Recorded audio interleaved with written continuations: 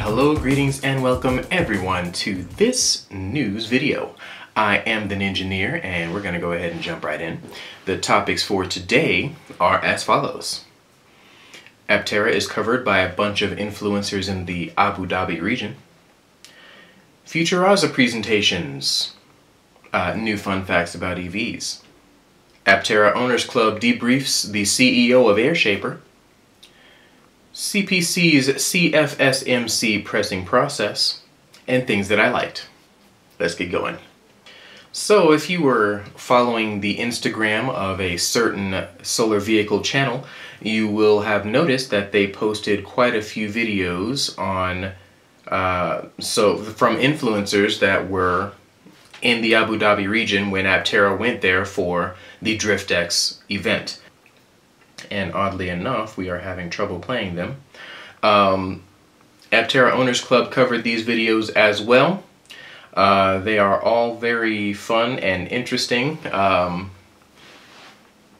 and it shows that there is a lot of genuine interest in uh, the Aptera. So um, pretty much no matter where you are, if you like having the ability to drive around for free, then Aptera is apparently the vehicle for you. Even if you're from Abu Dhabi or uh, anywhere in the world, really, uh, that has heard about this vehicle. Futuraza did a couple of presentations at an event that I do not know the name of, even though I'm pretty sure it is in the comment, uh, in the, actually, let's go ahead and check that out really quick.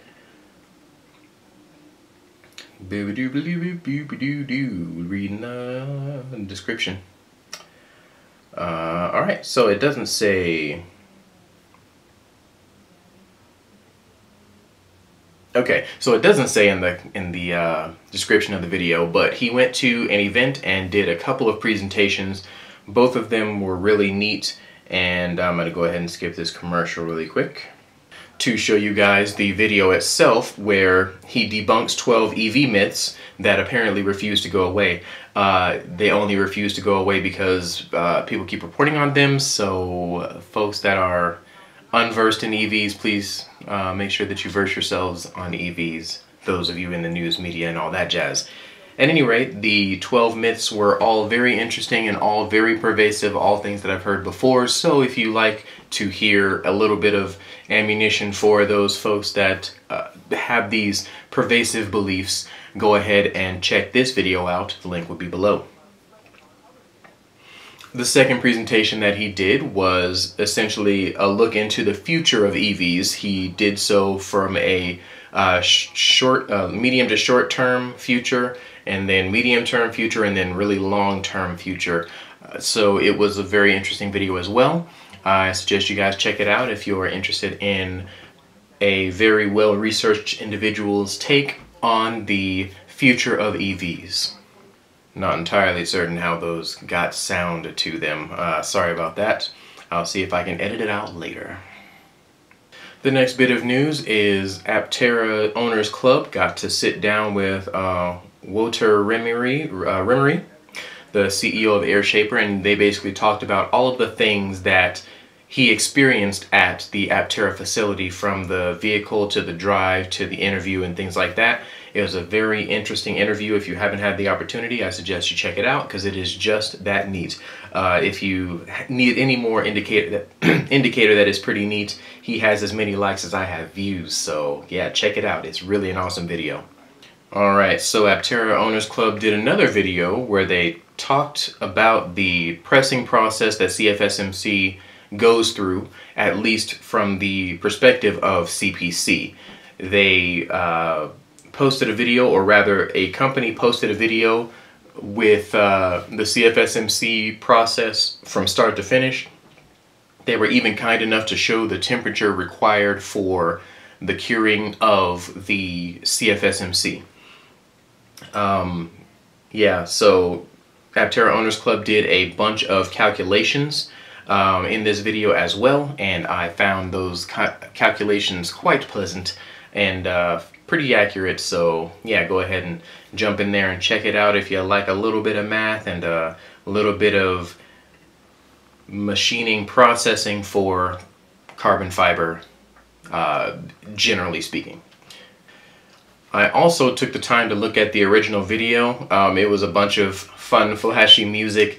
Uh, it also showed the overall process and the machines, the same machines that Aptera is going to be using, by the way, to press their components. So this is essentially the the part of the process that we don't necessarily get to see very often or at all really when it comes to CFSMC.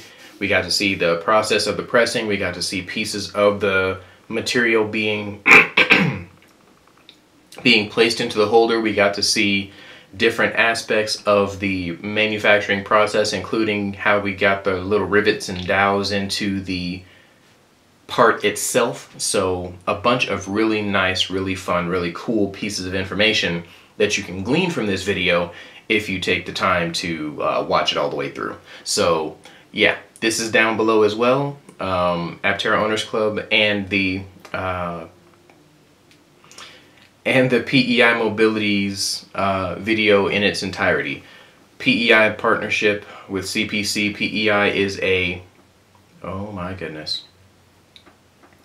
Uh, PEI is a manufacturing company that basically does uh, train components and, and other like lathes and, and other sorts of interesting stuff. So you can check those guys out as well. They're a pretty neat company, but I don't know how much they have to do with Aptera besides the fact that they both happen to use CPC.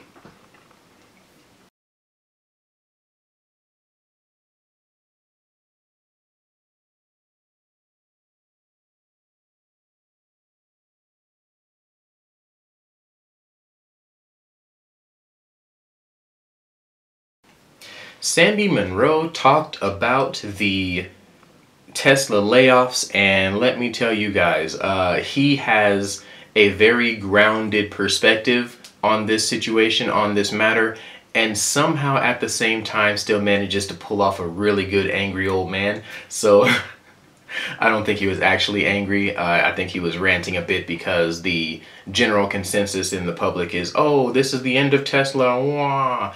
While I do think, like I said before, it is a mistake, they are not done because of this. Nobody's gonna say Tesla, uh, well, sorry, I'm not gonna say that Tesla's gonna fall apart or or become a a, a pauper uh, on the. The, the workers are gonna be paupers on the street because they laid off the.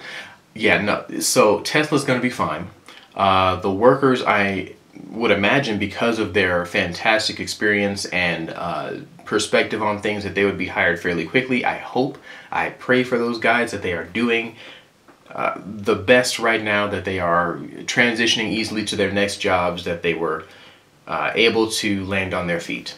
At any rate, this video was really thorough and really interesting, and I would suggest checking it out. So, there is a gentleman that I've talked about many times on this channel before named Farzad Mesbahi. He decided to put out a video talking about the Tesla bot details and Warren Buffett's buying of Tesla stock or potential of buying Tesla stock, that kind of thing. The video itself is pretty good. It was very informative, very detailed, very in-depth as he tends to be. I suggest checking it out if you like good content.